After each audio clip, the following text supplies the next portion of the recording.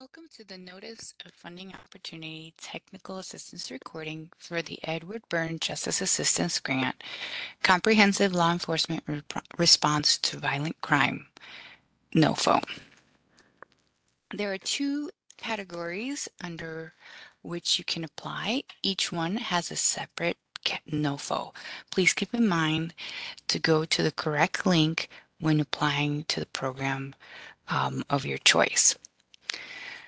All links will be placed in the description under this video. Um, all right.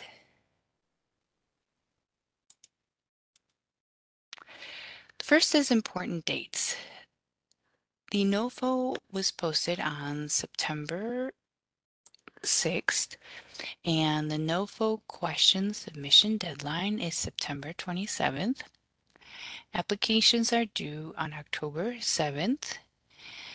The Budget Committee review and approval of recommended designations will be tentative December 19th, and the period performance of the first grant will be nine months from January 1st, 2025 to September 30th of 2025.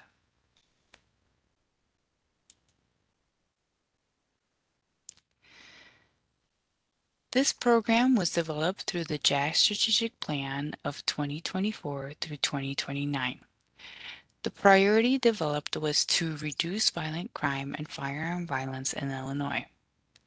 Program considerations are programs with a comprehensive strategy towards violent crime and its contributing causes, multi-jurisdictional efforts, law enforcement grantees must be NIBRS certified, and programs incorporating should be incorporating services for victims or those just as involved individuals. The purpose of the NOFO is to increase public safety and reduce the large scale and economic cost of violent crime through specialized law enforcement and prosecution. The solicitation is open to Illinois municipalities and counties and state agencies to provide violent crime reduction services and strategies in the community they serve. So we will be looking for actual services and strategies within your program narrative. NOFO eligibility. The solicitation is open to Illinois municipalities, counties, state agencies, and again, this is to provide services and strategies that will reduce violent crime in the communities they serve. Continuing eligibility. All applicants must be pre-qualified to do business with the state of Illinois, be registered through the Illinois GATA Accountability and Transparency Act grantee portal, be in good standing for all GATA prequalification requirements, and submit and obtain approval of the GATA State Fiscal Year Internal Controls Questionnaire before the execution of the grant. Funding categories.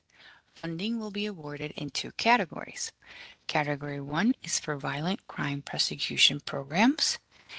Eligible applicants would be from the Office of State Attorney's Appellate Prosecutor, County State Attorney's Offices. Then we have Category 2, Multi-Jurisdictional Violent Crime Enforcement Programs. Applicants must identify here an implementing agency that will, on their behalf of the multi-jurisdictional team, apply for the grant. Eligibility in Category 1 for violent crime prosecution programs. During the grant agreement no negotiations, awarded applicants will be required to provide a memorandum of understanding demonstrating that they will have collaborative involvement with one of the other applicants, one of the other multi-jurisdictional violent crime enforcement applicants um, towards meeting the goals and objectives of this program. So this should be a collaborative effort. This program is intended to be a collaborative effort between law enforcement and prosecution programs.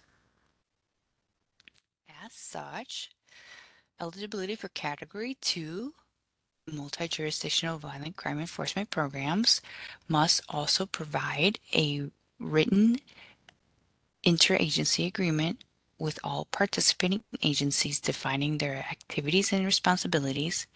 They will also be provided a memorandum of understanding that shows collaborative involvement with a prosecution program towards meeting these this program's goals and objectives. Provide a letter of commitment to staffing the program from each participating agencies.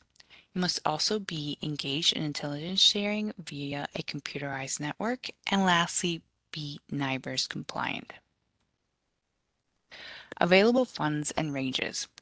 Category 1 for Violent Crime Prosecution Program. The funding is based on population size. Population size is listed below in the second row. The avail available funding ranges for each population size is listed below in the last row.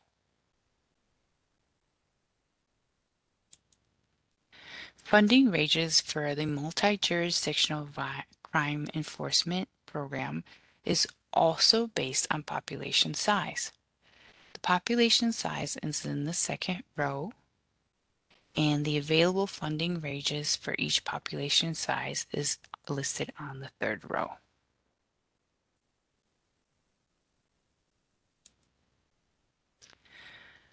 There is additional funding for one-time equipment and non-consumable supplies for Category 1 and 2. As you notice, there were a maximum funding ranges for Category 1 and Category 2. Each category can go above the maximum funding range for their program up to $12,000 for the one-time equipment and non-consumable supply supplies. Excuse me. Each applicant, as mentioned, can request up to 12,000 and the applicants the applicants can only request equipment that is in accordance with the JAG prohibited and controlled expenses. There will be a link to this provided in the description below. This will provide you information as to what equipment cannot be requested through JAG. The equipment and non-consumable supplies can only be for personnel listed on the grant budget, and the equipment must be directly related to reducing violent crime. A non-consumable supply is an item that does not need to be replaced periodically or within the 36 months of the NOFO period. The one-time equipment and non-consumable supply request will not be honored in any subsequent grant years. The projected funding period is from January 1st, 2025 to September 30th, 2025. Contingent on satisfactory performance and availability of funds, ICJIA may recommend to its board a maximum of 36 months of additional programming. Amplifund. This program will be using Amplifund. It is a grant and fund management system and will be used for the entire NOFO process, from posting the NOFO to scoring the applications and the grants management portion. So please expect that all financial data and closeout reporting will be through the Amplifund system during the period performance of the grant. All application responses must be submitted via Amplifund, emailed, mailed, hand-delivered applications will not be accepted. In Amplifund, there are two different NOFO numbers for each category. The links will be provided below in the description for this video. Agencies may apply under both funding categories. However, A separate and complete application must be submitted for each category under the respective NOFO number. How to apply through Amplifund. This first step is that applying organizations must register in the Illinois Accountability and Transparency Act grantee portal. The second step is that the applying organization must identify an individual who will submit the application via Amplifund. This person will serve as a primary contact for this application. More than one individual can have access and complete components of the application via Amplifund. However, the primary contact must submit the application via Amplifund. Uh, to apply, go to the links. Again, they will be provided in the description below this video. Resources and guides. Links to these resources and guides will also be provided in the description of this video. Some of the links available are training guides on our website, how to use users through uh, the help desk called Zendesk. Zendesk is a help desk for Amplifund. If you have any questions or would like to view any more of the training or guides available, you may do so through zendesk.com.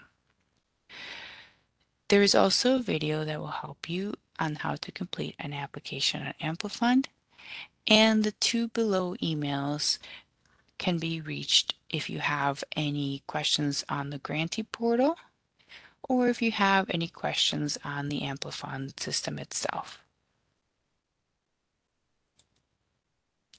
Additional resources um, provided through our website can show you how to register in the grantee portal, can show you how to create a user account, how to register in Amplifund, how to complete an application in Amplifund, how to navigate the grantee portal, and an additional resource is available to help you write and have success in your grant.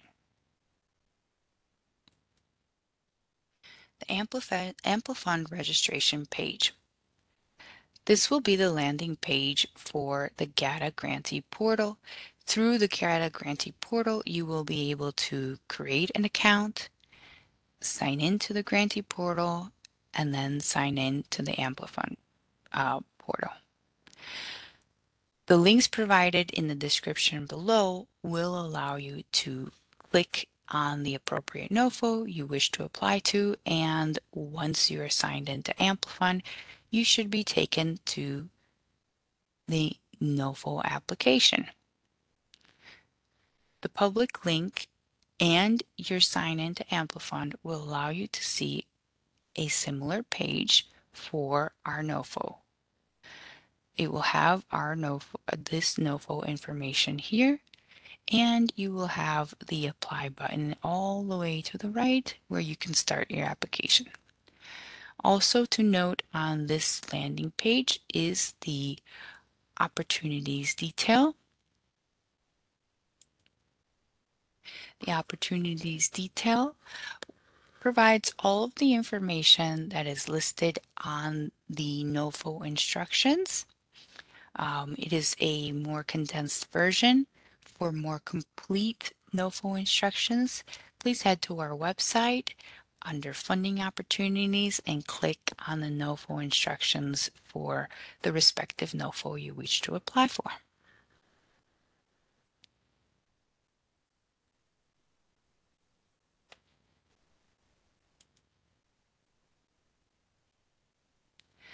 Evaluation and scoring. The second tab on the landing page for the NOFO is evaluation and scoring.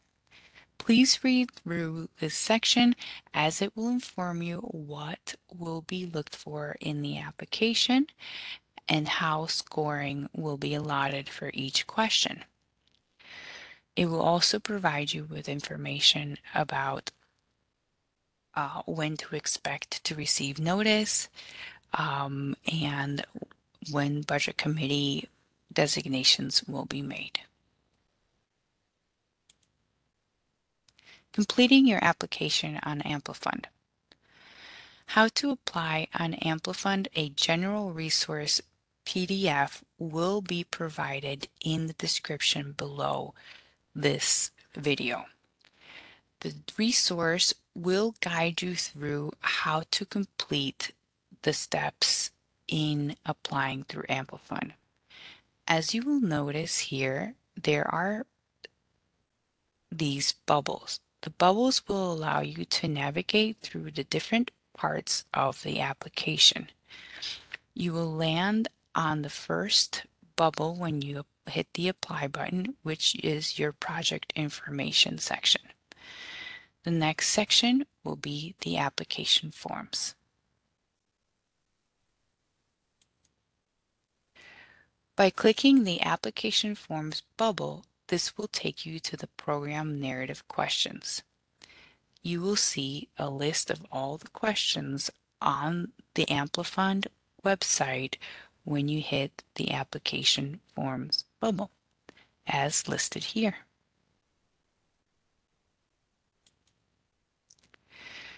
Now let's talk about the program narrative and the program design. the program narrative questions were developed to help you think through your violence reduction strategy.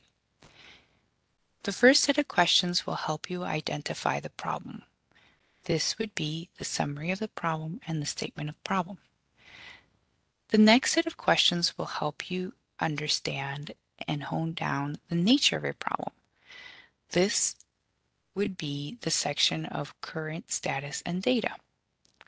These two sections should then inform your strategy, which you will have an opportunity to describe in the program design section, the program implementation section, and the goals, objectives, and performance metrics section. The last set of questions will guide you through evaluation of your program, how to gauge the progress and success of your program. This will be an opportunity. This will be here under the program management questions, an opportunity for you to describe that form of evaluation that you will be using.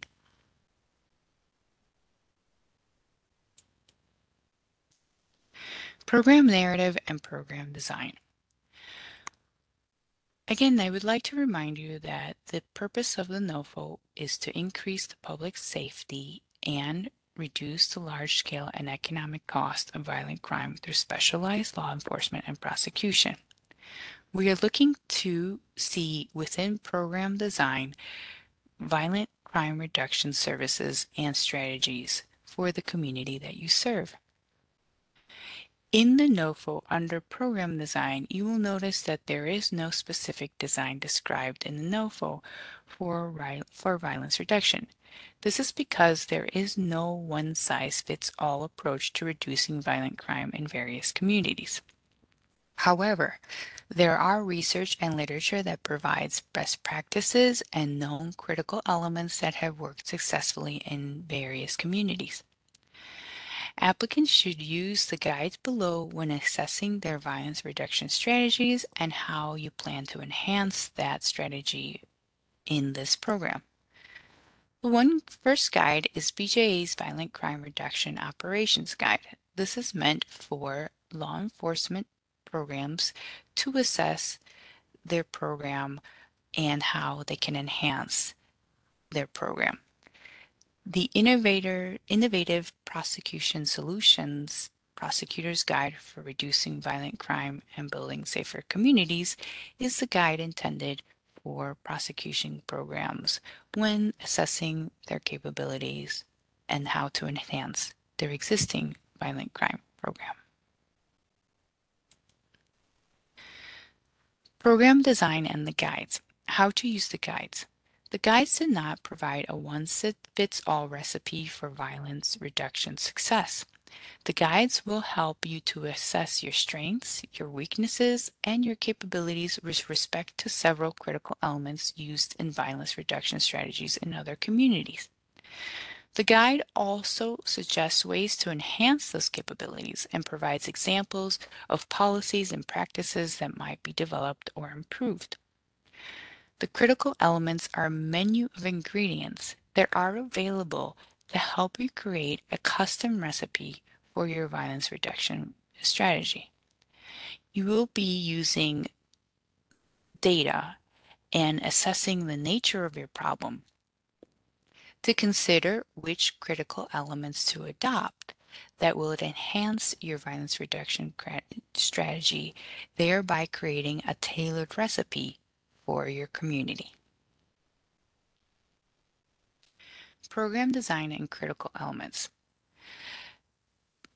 While there is no one size recipe that fit uh, to, for violence rejection strategies, there are some critical elements and practices that were highlighted in our program NOFO. These are partnerships with governmental and traditional and non-governmental and non-traditional organizations. This will include your collaborative partnership between prosecution and enforcement. Another critical element is community engagement and addressing the needs of family of, of needs of victims and their families.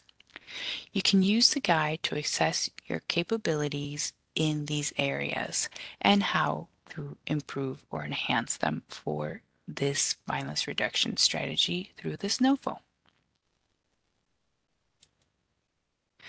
Now let's move on to the performance plan. This is a download, fill in, and upload document in Amplifund. Applications will be considered incomplete if this document is not filled in and uploaded. When completing the table, change every X with a gold number for your objective.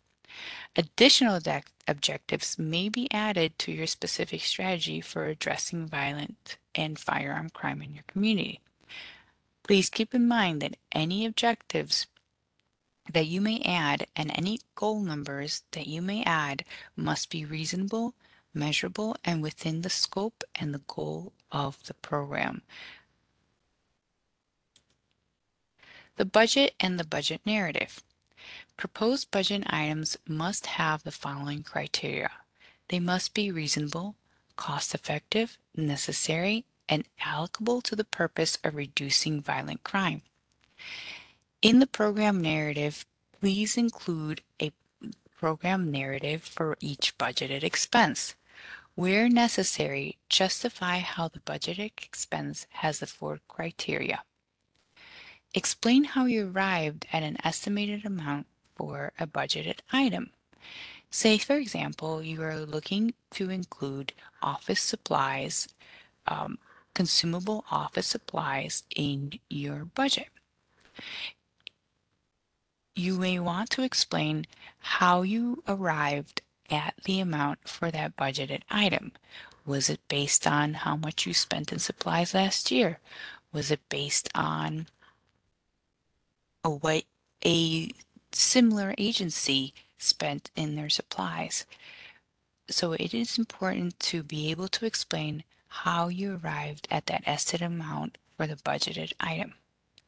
Also keep in mind that one-time equipment and non-consumable supplies are only for the funded personnel and must serve the purpose of the program. A reminder to save often in Amplifund. The Amplifund system times out after 20 minutes of inactivity. Clicking Save and Continue is encouraged as you begin to complete your information in the Amplifund system. Complete application. The following documents must be completed in Amplifund by 5 p.m. on October 7th, as this is the deadline for your application. You must complete a Uniform State application this is a template found within Amplifund. The program narrative questions. Again, this is a template found within Amplifund.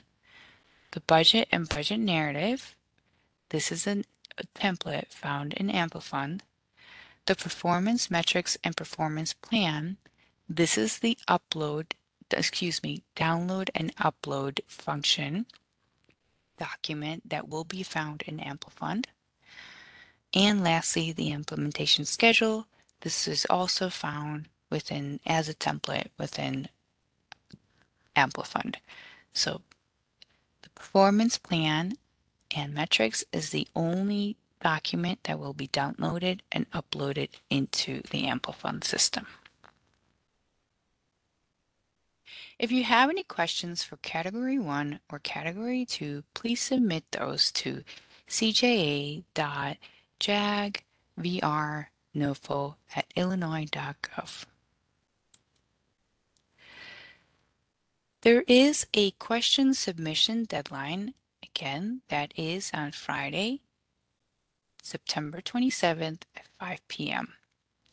All questions will be posted on our website.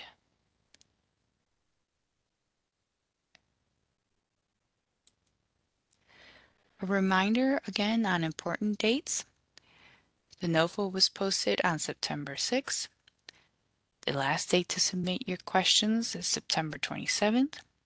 The applications are due on October 7th. The Budget Committee review and approval of recommended designations will be December 19th, and the program period of performance is tentative for January 1st through September 30th, 2025. Thank you for attending this technical assistance and best of luck to you on your application.